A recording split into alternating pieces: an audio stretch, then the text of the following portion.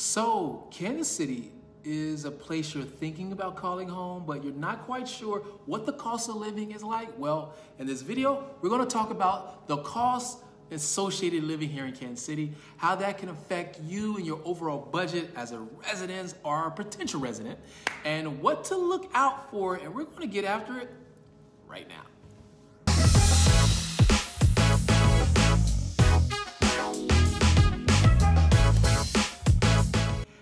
Is your first time to the channel and you want to know everything that it is to know about living in Kansas City and the surrounding areas, well, subscribe below, tap that bell for notifications so you'll be the first to learn about the current market in Kansas City and in the surrounding areas.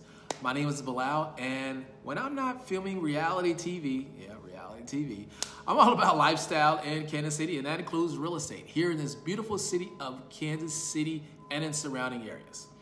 I get calls, I get texts, I get DMs every single day from people looking to make their move to Kansas City, and I absolutely love it. So whether you're looking to move 10 days from now, 100 days from now, give me a call, shoot me a text, or send me an email, and I'll be happy to help you make that smooth move right here to Kansas City or surrounding areas. So, hey everyone, again, welcome back to my channel, and today we're talking about the cost of living right here in Kansas City. Now, I know some of you might be thinking, Kansas City? That's just barbecue and jazz, right? Well, my friends, there is so much more to this Midwestern gem. First things first, let's talk about housing. Hey, I'm a realtor. Gotta talk about housing, right? Kansas City's got a great selection of rental options with the average one bedroom in the city coming in about $900 a month. And while they may seem like a lot, just think of all the barbecue you can buy with the money you save on rent.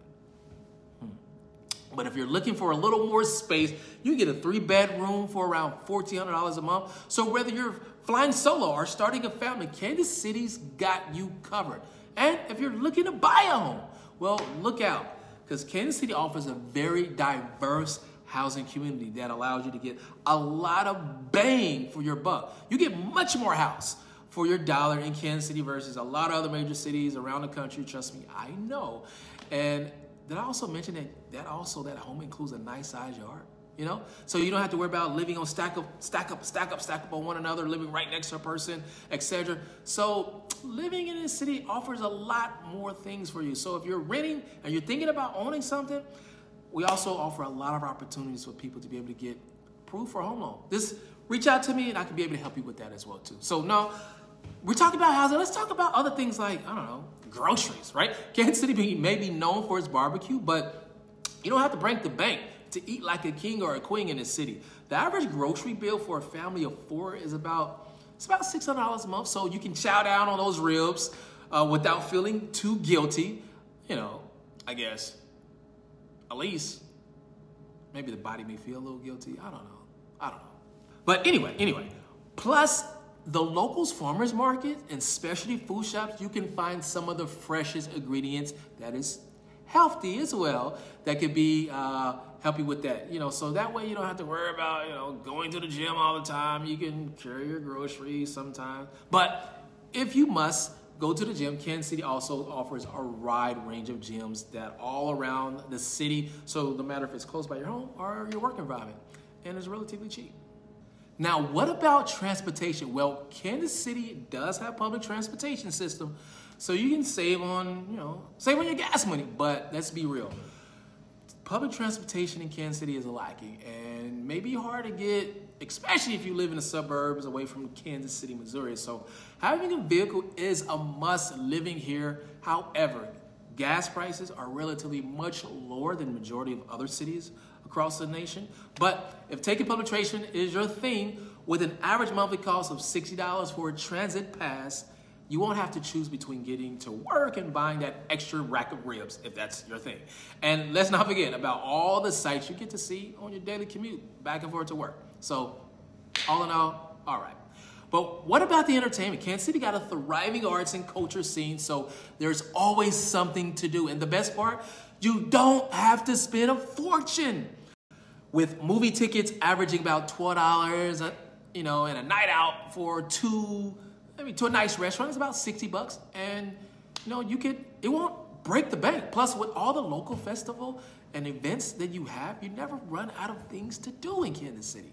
And let's also talk about shopping, right? Kansas City got a great selection of shopping options from big name retailers to unique local boutiques. And with sales taxes coming in about 8.6%, you can treat yourself without feeling a little too guilty opposed to some other places. Plus, with all the great thrift and vintage stores, you can find one of a kind pieces that sure to make all your friends back home a little jealous. So there you have it, folks. The cost of living in Kansas City. It got great housing options, affordable groceries, solid transportation costs, and plenty of entertainment and shopping. Who says you can't have your barbecue and eat it too? Overall, Kansas City screams affordability. You don't have to worry about paying three to four thousand dollars just on a rent. But at the same time, there are many things to do. So you just don't have to be stuck in your apartment or your home all day. You can get out and enjoy the scenes, eat, have fun, and it won't break the bank. So thanks for tuning in. Don't forget to like, to comment, subscribe for more great content about living here in Kansas City and the surrounding areas. And as always, if you're looking to move, whether it's 10 days from now or 100 days from now, hey, give me a call, send me a text, or shoot me an email, and I'll be happy to help you make that smooth move right here in Kansas City. And until next time, folks, well, I hope to see you around town.